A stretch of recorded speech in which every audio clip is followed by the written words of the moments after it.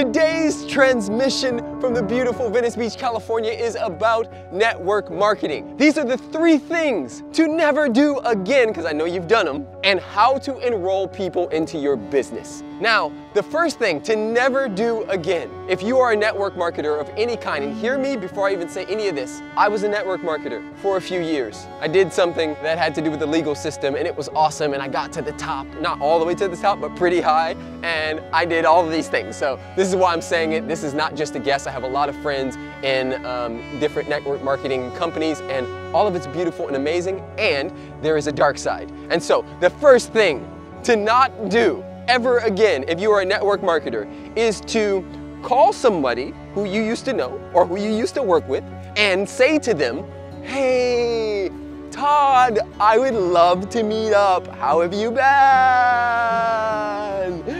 And then Todd goes, oh, I'm good, bro. Let's, let's meet up. And then instead of telling Todd, I want to meet up because I want to catch up, and I want to tell you about an opportunity in a business that I am in. This is the difference, guys. This is what pisses people off about network marketing, is they feel like it's a setup. They get to the coffee shop thinking that you guys are just gonna be friends, and really you're just there to talk about how their life is so jacked up and why they need this particular product, and they need to leave their nine to five and have the freedom lifestyle right now. All good. Use the dialogue that your company gave you and all that good stuff, and tell people. If you don't tell them, they're gonna be pissed at you and they're not gonna wanna work with you ever. And even if they do work with you and then they get in and then they realize a few things, they're gonna be really upset with you because you've set them up. So, don't do that.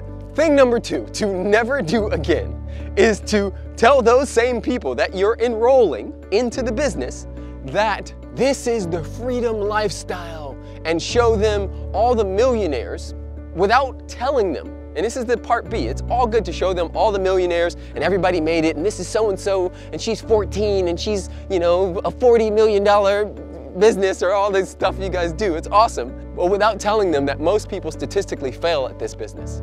Without telling them that, that that's a very small percentage of the people who make it all the way up there.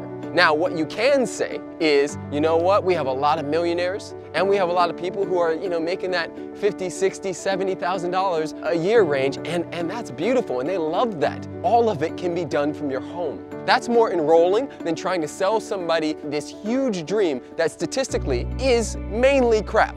There's a small percentage of people in every network marketing business that actually kill it. The rest of them just kind of get by and even more of them fail at the business, which is why a lot of these businesses get in trouble with the government for having more people enrolled in the business than people actually using the products. All good. Once again, I love network marketing. I have so many friends in it. This is not a diss track or anything of that nature. I just want you to hear that. Thing number three to never do again if you are a network marketer. Two parts. First part is don't tell people that it's so easy, bro. It's like taking candy from a baby, bro. First and foremost, never steal candy from a baby. Second of all, never give baby a candy in the first place. These are, this, all of that's an issue. But the point is, is that a lot of us try to sell this thing as if it's just the easiest thing in the world. And the reality is, is that to be a network marketer, to be somebody who's successful in network marketing, it takes a lot of work. And so if you don't set people up to understand that they're not just gonna come in and dance their way through and become a millionaire, that they're gonna have to be on the phone all day, every day, that they're gonna be, have to be living and breathing this stuff all day, every day, that this is actually a new career. And the, the part B to this is a lot of times what gets sold is you do this for a few years so you can then play the guitar, right? And I hate that. I hate that. If somebody is not right for this business, do not tell them they are. Have them go play the guitar, because that's what's truly on their heart. Yes, for some people, they don't know what they want out of life, and instead of working a, a dead-end nine to five job, network marketing is fantastic.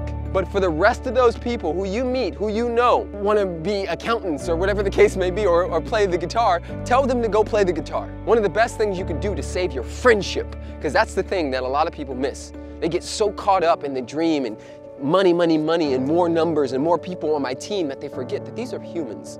These are humans and these are your friends. These are people that you know. And once the business is long gone, these people will remain. And so what you don't want to do is to set yourself up to be this shark that everybody's calling around and texting and like, yo, did Brian text you? Because if he did, don't answer his text because all he's going to do is set you up and have you at a thing and he's going to take you to a meeting and he's going to tell you that it's not a meeting, that it's just a meetup with some cool young people who are millennials and they just want to hang out and have fun and dance and stuff. But the reality is, is that they don't just want to do that. They want you in their cult.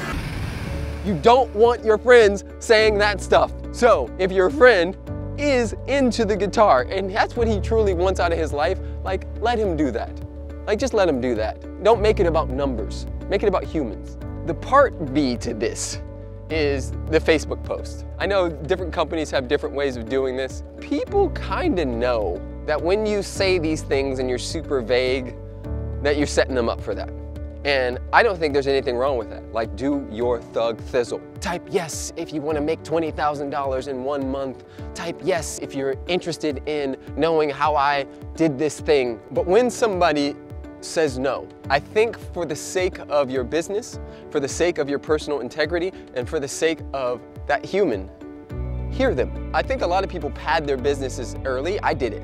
I went to my mom and my dad and my friends and my family. I was like, you have to, you have to. They said no. I was like, no, you get to. This is gonna happen. And all of them signed up for this network marketing business, which I went to the top for, or slightly to the top. But none of their hearts were truly in it. And so one by one, everybody sort of quit. And here I am, my business was like up here and it just faded back down because I wasn't doing it from a place of integrity. And so I say this not to chastise you, but to really talk about how I showed up and to share with you some things that don't work. Now, here's the part about enrolling. You want to enroll people into your business? Just go have some fun, live your life, be successful, like do the damn thing. Be the living embodiment of the thing you're telling them about, and they'll ask anyway. Invite them out, talk about life, tell them, yo, I want to talk to you about this business, but like before all that, like what's what are you up to? And hear them, listen to them, be present with them, and when they ask you about your life, share it. Be truthful, be honest. Like, yo, I'm in this business. It's not easy all the time, but like, yo, it beats going to a job every single day.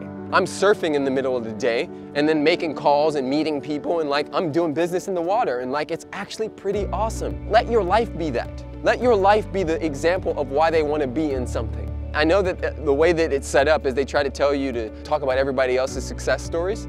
And, and that, that does work. Social proof does work. But I think what's even more powerful is when you just show up as the thing and show up as love and remind people of what's possible. There's the word. What's possible. I hope that this supported you in any way. If you are a network marketer and you want to share this, or if you're just somebody who's been network marketed to and you think that this will support humans, please share this message. I am, we are, hashtag Love's Voice is going down in a beautiful major way. Live love, give love, be love.